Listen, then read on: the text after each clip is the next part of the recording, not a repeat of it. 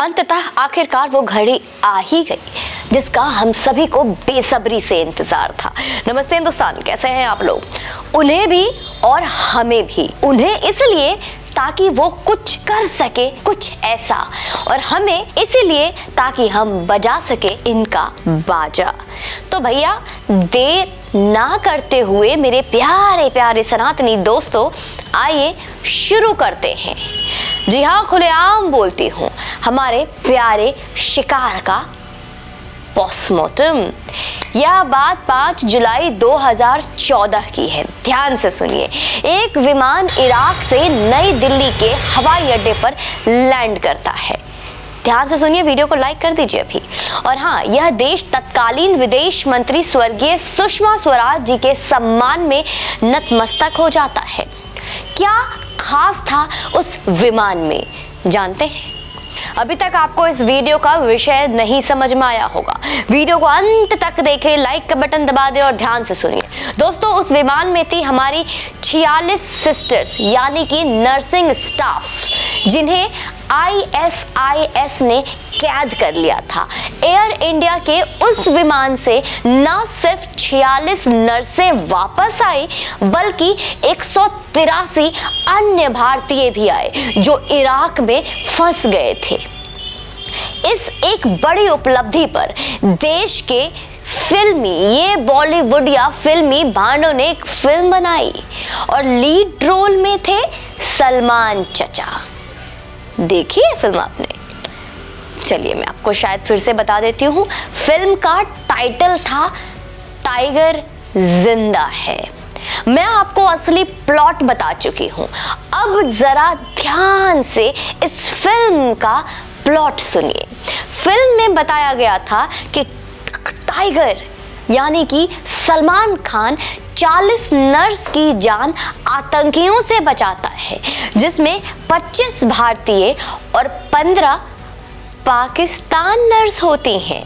Film में बताया गया है कि रॉ एजेंट टाइगर नर्स को बचाने के लिए इराक जाता है और अकेले सिर्फ़ अकेले अपने दम पर वो नर्सों की जान बचाता है।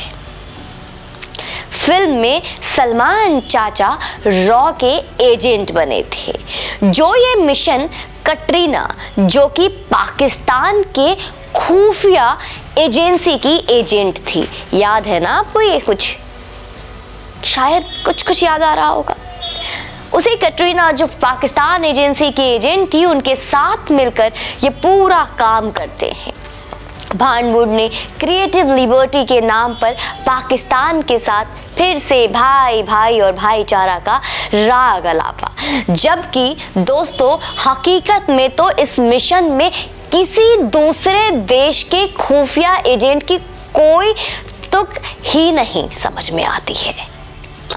अब, जब इस मिशन में कोई दूसरे देश का फंसा ही नहीं तो पाकिस्तान का एजेंट क्यों? पहले तो ये बताओ अब, कि पाकिस्तान की नर्सें भी कहीं जाती हैं क्या? अच्छा पाकिस्तान के पास भी कोई खुफिया एजेंसी है क्या? चलो होगा। खैर, आप कहेंगे कि ये वाली पड़ताल आज क्यों? क्योंकि बेवक्त हम कुछ करते नहीं तो भैया, यह फ़िल्म बनाई थी यशराज फ़िल्म ने और इसे कहा कि यह फ़िल्म हमारी स्पाई यूनिवर्स की दूसरी फ़िल्म है। फिर इस यशराज फ़िल्म ने बनाई वॉर, और अब बनाई है पठान। तो पाकिस्तान प्रेमी इस फ़िल्म प्रोड्यूसर की स्पाई यूनिवर्स की आने वाली फ़िल्म को बॉयकॉट करने का एक जेन्यून वजह तो हमने दे ही दिया है आपको। क्या करें? अकॉर्डिंग टू अब्दुल, इसी के तो पैसे मिलते हैं मुझे। यही बोलते हैं ना चलिए सही। अब चलते हैं दूसरी वजह पर, जिसके लिए आपको इस भानबुट के सबसे बड़े भाड़ की फ़िल्म देखने की कोई आवश्यकता है ही नहीं। अच्छा एक बात बताइए कि एक फ़िल्म और उसके ट्रेलर का क्या रिश्ता होता है। चलिए सवाल को और आसान करते हैं कि फ़िल्मों के ट्रेलर क्यों बनाए जाते हैं? बताइए बताइए, आप ही से पूछ रही हूँ। इस आसान से सवाल का आसान सा उत्तर है कि फ़िल्म को लेकर एक एक्साइटमेंट बनाने के लिए ट्रेलर देखते हुए मन में कई सवाल आने चाहिए। जैसे सीन कितने कमाल है, इसका प्लॉट क्या होगा, कहानी क्या होगी, क्या एक्शन है ब्ला ब्ला ब्ला लेकिन पठान का ट्रेलर देखने के बाद 10 में से 10 लोग इस फ़िल्म का प्लॉट और स्टोरी लाइन लिख सकते हैं स्वयं। तो काहे का कोई देखने जाएगा भैया? हो ना हो ट्रेलर बनाने वाला अंदर से एकदम सनातनी होगा, जिसकी लुटिया डुबाने में हमारे साथ कंधे से कंधा मिलाकर खड़ा है। या फ़िल्म कोई जल्दी घर वापसी की खबर देने वाला कोई मजहबी। कैरेक्टर्स के नाम से लेकर फ़िल्म का प्लॉट और सारे सिग्नेचर एक्शन सीन सब कुछ तो ट्रेलर में दिखा ही दिया भाई ने। ट्रेलर वाले भैया, तुम्हें जय श्री राम अब बात थोड़ी प्लॉट का पीछे से हिडन एजेंडा को लेकर कर लेते हैं। जो ध्यान से सुनिएगा लाइक कर दीजिएगा। जो सबसे बड़ी वजह हो सकती है आपके इस फ़िल्म को पूरी तरीके से बॉयकॉट करने की। फ़िल्म की प्लॉट बताती है कि हिंदुस्तान पर हमले करने वाले कोई आतंकी संगठन नहीं है, बल्कि ठेके पर काम लेने वाले ठेकेदार है टेंडर वाले जैसे। आतंकी संगठन जैसे अब बिजनेसमैन है और वो खुद से बम बारूद नहीं चलाते, अब वो ठेके पर काम देते हैं। क्या बात है ना? आतंकी संगठनों के लिए इतना बढ़िया कवर कहीं देखा है?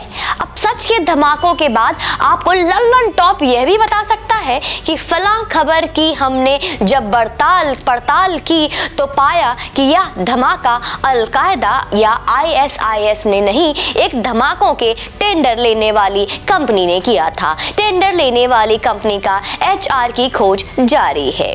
क्या आपने ध्यान दिया दोस्तों कि हमने न नंगे हीरो हीरोइनों की बात की और न घटिया वीएफएक्स की? वो सब सेकेंडरी है प्राइमरी है, नीयत, जो इस फ़िल्म की है खराब।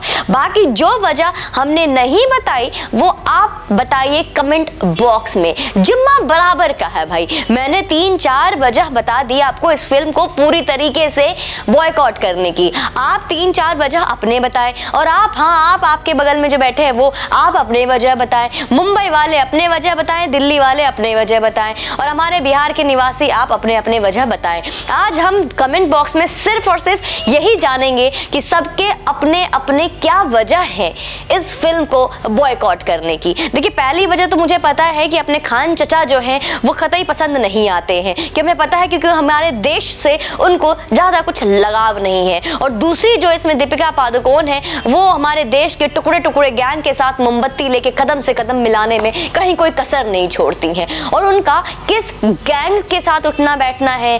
कैसे व्हाट्सएप चैट की वो एडमिन रह चुकी हैं, ये सब तो हमें पता ही है। बाकी फिर भी मैं ज़्यादा खुलासा नहीं करूँगी इस वीडियो में। भाई, आपको भी होमवर्क दिया है, आप लोग अपने होमवर्क कीजिए, मैंने अपना कर दिया है। तो बस कमेंट बॉक्स में आपका अभिनंदन है और बताना शुरू कीजिए। जय हिंद, वंदे मातरम।